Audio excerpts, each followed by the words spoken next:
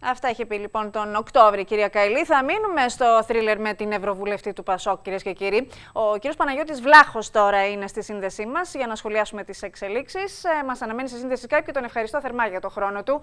Καλό βράδυ, καλησπέρα, κύριε Βλάχο.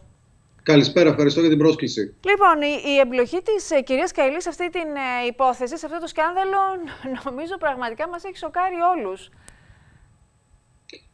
Προφανώς και ευτυχώς μας σοκάρει γιατί τέτοιες υποθέσεις δεν πρέπει ούτε να περνάνε απαρατήρητες ούτε να επιδεικνύει το πολιτικό σύστημα μηδενική ανοχή. Συγγνώμη, να επιδεικνύει κάποια ανοχή. Γι' αυτό και από την πρώτη στιγμή ο πρόεδρος του Πασόκ αναγνώρισε τον πολιτικό ρίσκο αυτής της ιστορίας, το πολιτικό σκέλος αυτής της ιστορίας και διέγραψε την κυρία Καηλή. Από εκεί και πέρα, όπως αντιλαμβάνεστε, το ποινικό κομμάτι, το κομμάτι που αφορά τη δικαιοσύνη, είναι κάτι το οποίο βρίσκεται σε εξέλιξη και αναμένουμε και εμείς να μάθουμε περισσότερα. Βέβαια, υπάρχουν και αυτοί, διαβάζοντας τα σχόλια στο Twitter, που υποστηρίζουν ότι πολύ εύκολα άδειασε την ε, σύντροφο, την ε, παλιά του φίλη, την παλιά του συνεργάτηδα, ε, πριν καν προλάβει να απολογηθεί, πριν καν προλάβει να βρει δικηγόρο. Ήταν τόσο άμεση η αντίδραση του, του Νίκου Ανδρουλάκη, που σχολιάζεται και αυτό από κάποιους. Ότι ίσως θα έπρεπε να το δει λίγο πιο ψύχρεμα, να παραμένουμε. Υπάρχει πάντα το τεκμήριο της αθωότητας. Κοιτάξτε, ε, νομίζω ότι χρειάζεται να καταλάβουν όλοι και πολύ περισσότερο ο κύριος Οικονόμου και η Νέα Δημοκρατία ότι πέρσι τέτοιες ημέρες 270.000 άνθρωποι ήρθαν και στήριξαν την προσπάθεια του Πασόκ να εκλέξει καινούριο αρχηγό και αυτή η προσπάθεια είναι αδιαπραγμάτευτη. Είναι μια προσπάθεια να ξαναγίνει το Πασόκ μεγάλο κόμμα και αυτό θα το πετύχει όταν είναι αυτόνομο, όταν δεν, δεν κλείνει το μάτι αριστερά ή δεξιά και όταν δεν δείχνει, το πιο σημαντικό από όλα, καμία ανοχή, όταν δείχνει καμία ανοχή σε όλους αυτούς που προσπαθούν να το πληγώσουν ή εκμεταλλεύονται την ταμπέλα του για να προσποριστούν ατομικά ωφέλη. Συνεπώς, ας το καταλάβει και ο κύριος Οικονόμος, το καταλάβουν και όλοι όσοι βλέπουν το Πασόκ ως συμπλήρωμα ή δορυφόρο των σχεδίων τους, ότι αυτή είναι η αρχή που έγινε με τον Νίκο Ανδρουλάκη, είναι μια αρχή αξιακή, μια αρχή αδιαπραγμάτευτη και μια αρχή νικηφόρα. Και όσο και αν προσπαθεί ο κύριος Οικονόμου και τα παπαγαλάκια του Μαξίμου να πλήξουν το Πασόκ αυτές τις μέρες, μην ξεχνάμε ότι βαρύνονται με ένα τεράστιο σκάνδαλο, ίσως το μεγαλύτερο σκάνδαλο της μεταπολίτευσης της πλάτες τους. Εκεί που μας χρώσταγαν, μας ζητάνε και τα ρέστα. Έχουν διασύρει την Ελλάδα στο εξωτερικό, κατηγορούνται για σκάνδαλο παρακολουθήσεων και σκάνδαλο συγκάλυψης. Και αυτό δεν πρέπει να το ξεχνάμε.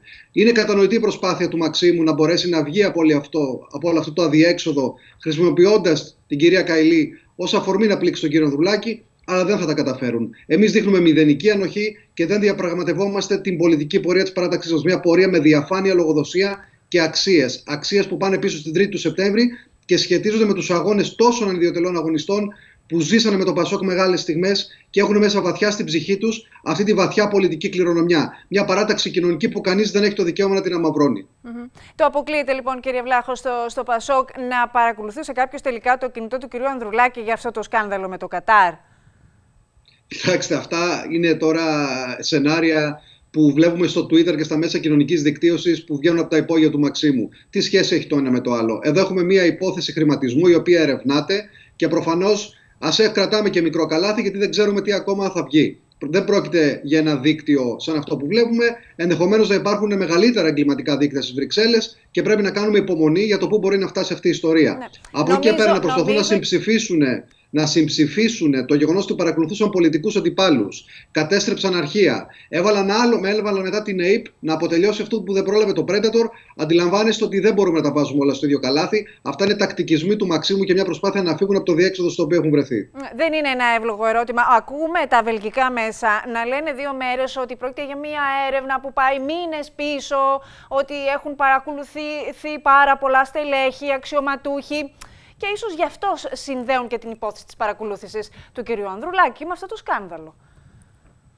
Αν μη τι άλλο, ο κ. Ανδρουλάκης παρέδωσε το κινητό του στις ε, αρμόδιες υπηρεσίες του Ευρωκοινοβουλίου για να μάθουμε τι ακριβώς συνέβη.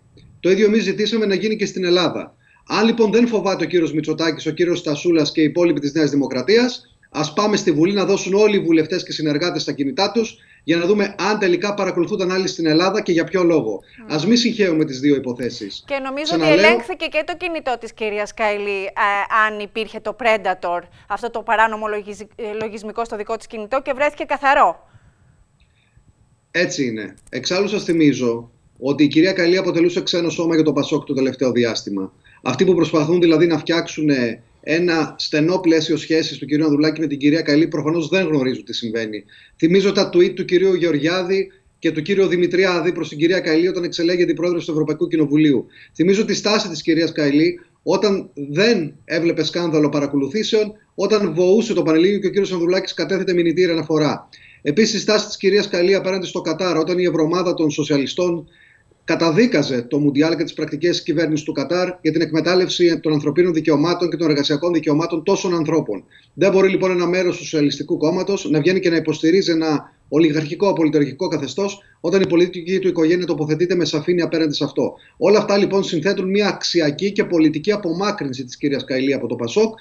Ο κύριος Ανδρουλάκης είχε πάρει την απόφαση να μην τη συμπεριλάβει στα ψηφοδέλτια ούτως ή άλλως. Ναι. Και Αλλά οι πρόσφατες εξελίξεις. αυτό μέχρι σήμερα, είναι κύριε το Βλάχο. επιστέγασμα Αυτά αυτών. περί ξένου σώματος τα ακούμε σήμερα και μετά ε, την σύλληψή της, ε, την προσαγωγή της. Δεν ξέρουμε τώρα. Τι, οι πληροφορίες έρχονται με το σταγονόμετρο. Ε, ελπίζουμε ήταν για σήμερα η συνέντευξη τύπου από τις Βελγικές Αρχές. Πήγε για αύριο Κυριακή. Ε, ελπίζουμε να δοθούν περισσότερες πληροφορίες, να δούμε και τι ακριβώς έχει συμβεί. Με το αν έχει συλληφθεί τελικά ή όχι η Εύα Καηλή. Είναι ένα θρίλερ και γύρω από αυτό. Αλλά αυτά περί ξένου σώματος σήμερα τα, τα ακούμε και είδαμε και την τοποθέτηση της ίδιας της Ευρωβουλεύτριας στην ε, ε, δική μας, την ε, συνάδελφο, τη λένε την Παρασκευά. Ένα μήνα πριν στο Olympia Forum 3 τα διέψευσε όλες τις φήμες ε, περί ρήξεως, περί... μι- μιλούσε και ο κ. Ανδρουλάκης και η κυρία Καηλή για άψογη συνεργασία. Προκαλούσε Πριν- μια μηχανία η διαφοροποίησή της σε κάποια θέματα, όμως επίσημα και μπροστά δεν ε, είχαμε ακούσει κάποια ε, τέτοια τοποθέτηση. Δεν είχαμε καταλάβει κάτι τέτοιο, κύριε Βλάχο. Ο κύριος Ανδρουλάκης φέτος την 3η του Σεπτέμβρη στην ομιλία του στο Ζάπιο είπε ότι όσοι δεν σέβονται τις αξίες και τις αρχές της παράταξης και ό,τι αφορά, κυρίως ό,τι αφορά το πατριωτικό της καθήκον, ζητήματα διαφάνειας, ζητήματα αξιοκρατίας, προφανώς και πρέπει να ξανασκεφτούν αν έχουν θέση στα ψηφοδέλτια της παράταξης. Μόλις πριν 20 μέρες, στον τολεπτικό σταθμό Blue Sky, όταν του ζητήθηκε να σχολιάσει τις δηλώσεις της κυρίας Καηλή για το Κατάρ και το Μουντιάλ του καταρ είπε ότι τέτοιες απόψεις είναι ξένες ως προς την παράταξή μας, δεν έχουν καμία σχέση με την ευρωμάδα μας και προφανώς δεν έχουν καμία σχέση με το Πασόκ. Άρα είχε καταδικάσει και είχε τοποθετηθεί απέναντι σε όλα αυτά. Αλλά προφανώς ξέρετε, ακόμα και έτσι να μην ήταν, όταν υπάρχει τέτοιο ζήτημα ηθικής, όταν συγκρούεται μια τέτοια υπόθεση με τον αξιακό πυρήνα του κόμματος και κυρίως με τη νέα προσπάθεια που προσπαθούμε να κάνουμε να αποβάλουμε από το Πασόκ όλα αυτά που μπορεί να μας πλήγωσαν στο παρελθόν, τότε η πολιτική στάση του κ. Ανδρουλάκη είναι επιβεβλημένη. Καμία ανοχή σε όποιον ή όποια βλέπει την ταμπέλα του Πασόκ ως ένα πεδίο ευκαιρίας, είτε αυτό αφορά προσωπικό πλουτισμό, είτε αφορά πολιτικό τοχοδιοκτισμό. Mm. Και αυτό πρέπει να το καταλάβουν όλοι και κυρίως στο Μαξίμου, ξαναλέω, που προσπαθούν να εκμεταλλευτούν πολιτικά αυτή την υπόθεση για να ξεφύγουν από το πολιτικό διέξοδο στο οποίο βρίσκονται. Ε, όσον αφορά το ψήφισμα για το Κατάρ στην τελευταία ολομέλεια στο Στρασβούργο, ολόκληρη η ευρωομάδα των Ευρωσοσιαλιστών την ίδια στάση την είχε κρατήσει με την κυρία Καηλή; Δεν η είχε διαφοροποιηθεί Καηλή... από την Ευρωομάδα η κυρία Καηλή. Ο κ. Ανδρουλάκης η... είχε τοποθετηθεί διαφορετικά, έχω την αίσθηση. Συγγνώμη, το Πασόκ είχε μία άποψη ναι. και η Ευρωομάδα των Σοσιαλιστών είχε καταδικάσει απερίφραστα τις πρακτικές της κυβέρνησης του Κατάρ στο Μουντιάλ. Υπήρχε σχετικό ψήφισμα. Η κυρία Καηλή δεν ήταν συντεταγμένη με αυτή την ιστορία, όπως και δεν ήταν συντεταγμένη και με το θέμα των παρακολουθήσεων, όπως και δεν συντάχθηκε με τη γραμμή του κόμματος για, τον, για τις ψηφοφορίες στο Ευρωπαϊκό Κοινοβούλιο σε ό,τι αφορά τον Αντιπρόεδρο. Ναι. Άρα, συνεπώς, αντιλαμβάνεστε ότι υπήρχε ένα πολιτικό χάσμα, αλλά σας και ξαναλέω είχε, και έτσι είχε να μην δηλαδή, ήταν. εσείς λέτε τα καμπανάκια ο Νίκος Ανδρουλάκης. Τα, τα είχε Προφανώς, προφανώς. Αλλά όταν τίθεται ζητήματα ηθικής, αξιοπιστίας και ταυτότητας για την παράταξή μας, τότε νομίζω ότι δεν υπάρχει ζήτημα αν υπάρχει ρήγμα ή όχι. Είναι αυτονόητο ότι τέτοιες συμπεριφορές δεν γίνονται ανεκτές. Και πολύ καλά έκανε ο κύριος Ανδρουλάκης και ανέφερε όσο ανέφερε σήμερα και πήρε την πολιτική απόφαση που πήρε εξάλλου. Το γεγονός ότι ανέφερε ότι κάποιοι λειτουργούν ως δούροι ύπη και κυρίω η κυρία Καηλή μέσα στο Πασόκ υπέρ της Νέας Δημοκρατίας, αν ψάξετε λίγο και τα social media αλλά και τις επιλεκτικές σχέσεις της ιδέα με τον Μαξίμου, θα δείτε ότι δεν πέφτουμε έξω. Ο κ. Ανδρουλάκης το είπε έξω από τα δόντια και αυτό τον τιμά ιδιαίτερα γιατί μιλάει με ειλικρίνεια απέναντι στο ελληνικό λαό. Άρα λοιπόν, όσοι βλέπουν το Πασόκ ως μια ταμπέλα ευκαιρίας, ως μια σημαία ευκαιρίας για να κάνουν προσωπικές business ή να ικανοποιούν προσωπικά τους σχέδια, αυτά πλέον δεν είναι ανεκτά. Αυτά δεν τα θέλει η βάση της παράταξης και σίγουρα αυτά δεν τα θέλει η ελληνική κοινωνία, γιατί έτσι αποστρέφεται την πολιτική.